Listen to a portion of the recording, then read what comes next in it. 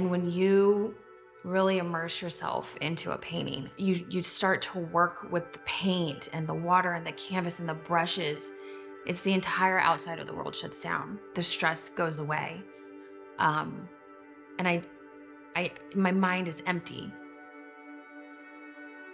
I was diagnosed with Hashimoto's when my second born was about two years old.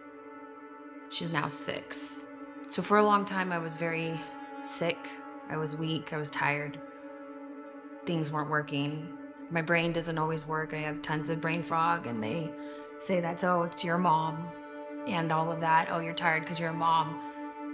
I, I survived the beginning parts of, you know, the, the young toddler stages. And then when I started to find out more information about it, I got healthier, I got more help. And they really said one way to help heal yourself is through stress management, which is very hard, I feel, in our day and age. We're so busy, especially Americans. We're so busy and everything is just go, go, go all the time. When COVID hit, the world stopped. And my body actually healed itself in that moment.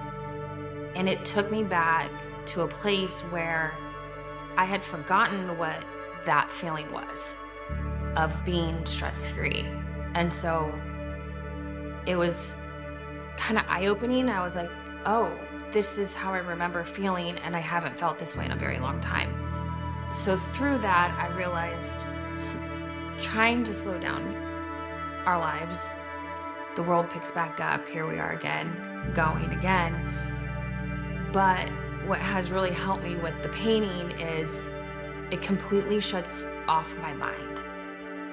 And my mind is just thinking about the strokes, the the water, where's it going, this line, and it's such a meditative place that is a very hard place I feel like to find sometimes. It's very hard to shut down your mind um, of the outside world. And this has always been a kind of a healing place for me.